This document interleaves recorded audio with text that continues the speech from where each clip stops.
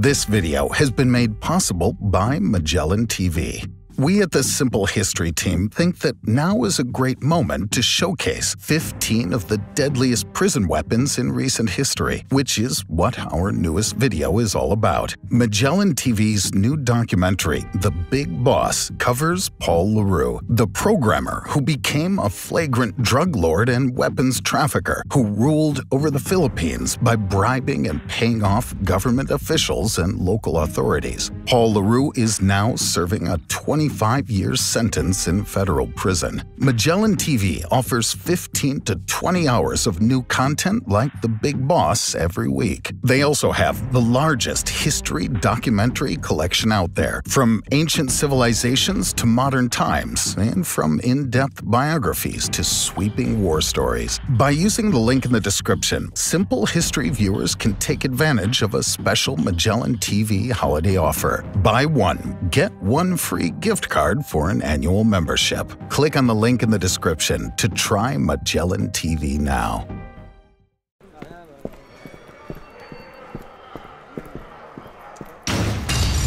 Fifteen improvised weapons inmates built in prison.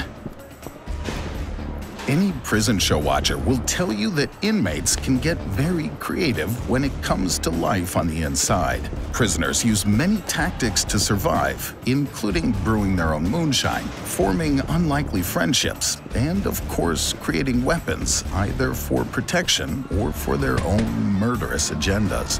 There are plenty of weird and creative weapons made by prisoners across the world, Let's take a look at the top 15 craziest prison weapons you won't believe really exist.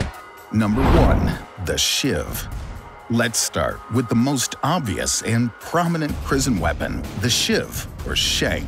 Shivs are makeshift knives created from everyday materials that many inmates carry to protect themselves from their fellow prisoners. The features of a shiv generally change from prisoner to prisoner, with many different items used in innovative ways to create these deadly weapons. In the 1950s, British criminal Billy Hill offered an account of how he used his shiv. I was always careful to draw my knife down on the face, never across or upwards, always down, so that if the knife slips, you don't cut an artery. After all, shiving is shiving, but cutting an artery is usually murder. Only mugs do murder. The most common shivs are made from sharpened comb handles, shards of glass wrapped in cloth, or a razor blade tied to the end of a toothbrush. But if, for whatever reason, prisoners can't exploit these designs, they get creative. In Wolfenbüttel prison, Germany, around 1994, a shiv was discovered inside a hollowed-out cross owned by a religious inmate. His intentions, it seemed, were far from saintly. Also worth noting is the bizarre circumstance surrounding the Hard Sweets Jolly Ranchers. These American candies are now banned from multiple prison commissaries after it was discovered that inmates had melted down the sweets and reshaped them with a cold, jagged tip that could very effectively stab someone. Number 2. Boiling water, sugar, and chocolate.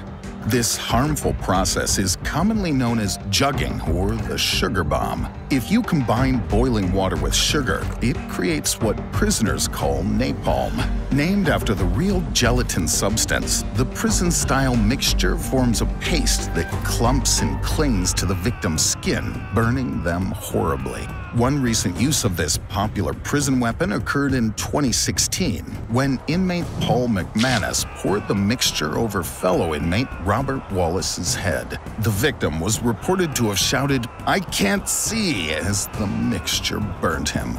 Another similar method of jugging involved melting down chocolate bars and throwing the boiling chocolate over other prisoners, which, like boiling water and sugar, hardened and stuck to them as it burned. Number 3.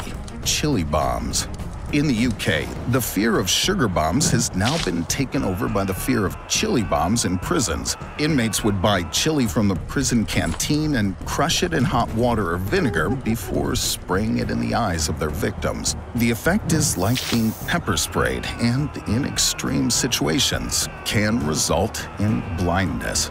Number 4. Homemade Bomb Around Halloween 1995, an Illinois prison inmate named Peter Saunders went as far as to mail a homemade detonation device to Judge Blanche Manning after becoming enraged that she had dismissed a civil lawsuit against prison officials.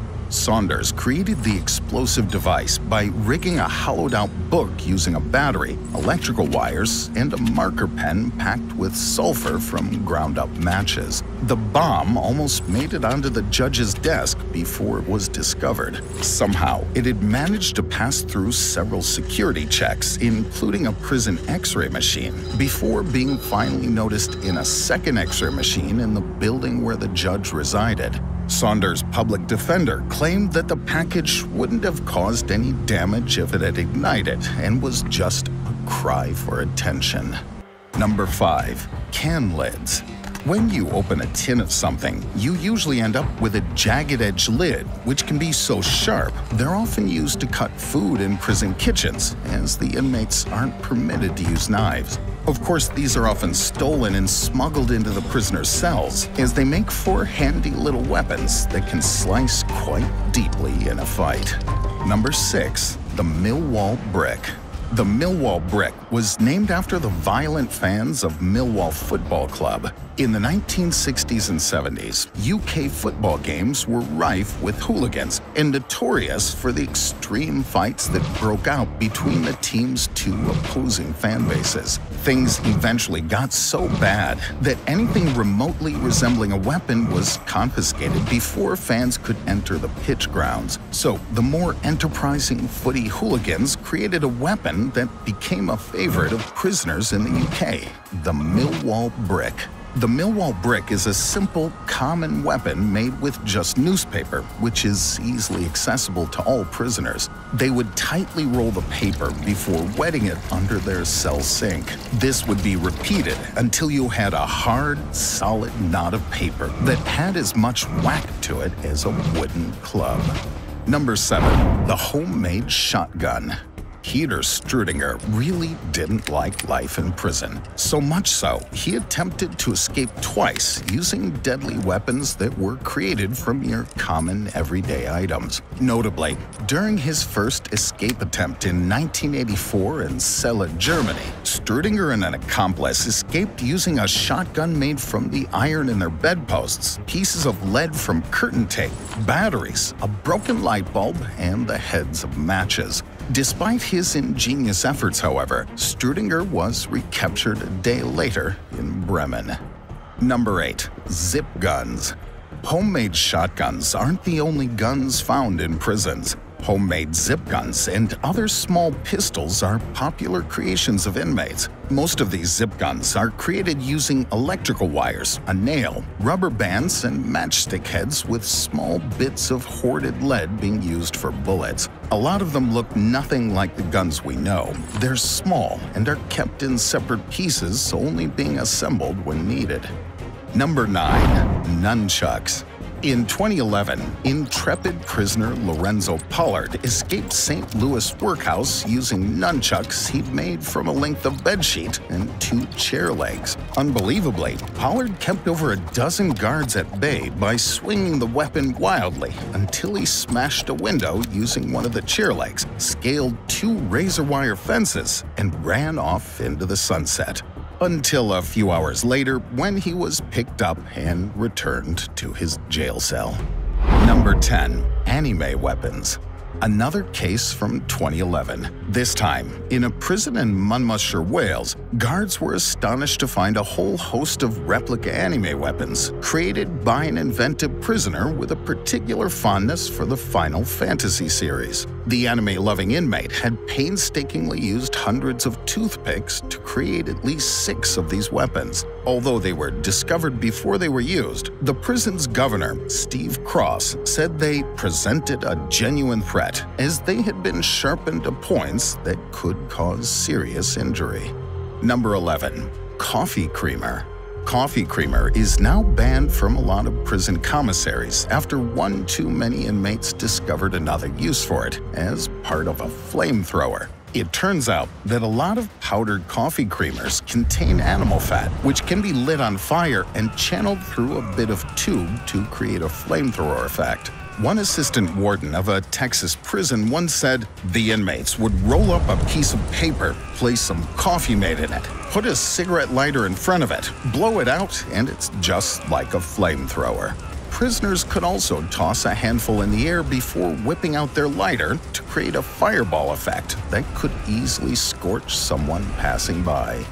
Number 12. Dental Floss Dental floss is yet another item that a lot of prison commissaries have banned, as well as being used in many escape attempts. Due to its tensile strength, it can also make an effective weapon to choke out another prisoner or guard, or used as the hand grip on a shank. Number 13. A Knuckle Duster. This one is considered particularly creative. Around 1993, a guard in a German prison uncovered a dangerous homemade rasp knuckle duster in an inmate's cell. The inmate had stolen the rasp tool from the prison's machine workshop and, using material ripped from their bed as padding, arched the rasp in such a way that it formed an effective knuckle duster. Being on the receiving end of a punch made from it could, no doubt, do some serious damage. Number 14. Gardening Glove even gardening gloves can be used to form dangerous weapons. Because secretly modified gloves look just like the ordinary ones, prisoners could carry them around without drawing much attention to themselves. Prisoners would sew one glove inside the other, but would line the inside glove with tacks or any other small, sharp pointed object. The spiked lining would then easily penetrate the top layer, seriously hurting anyone on the receiving end of a punch or blow. Number 15, Toothbrush Crossbow.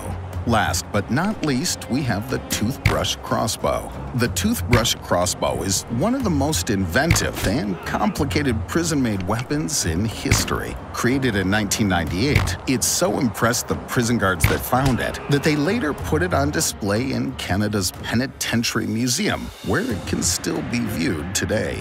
A prisoner at Stony Mountain Institute, Canada, was stuck in solitary confinement when he came up with a creative and deadly use of his time. Using a small list of everyday items, including 10 toothbrushes, a lighter, part of a ballpoint pen, a small piece of wire, some cafeteria tongs, yellow gloves, assorted electrical wires, a Kleenex, and a few screws, he managed to fashion what was effectively a fully functional crossbow. He created bolts for it using aluminum foil, tightly rolled paper, and Q-tips. Although the prisoner never got a chance to use his new creation, the prison guard that confiscated it had a go at the impressive weapon and reported that it could fire up to 40 feet. Imagine the chaos that would cause in the prison yard.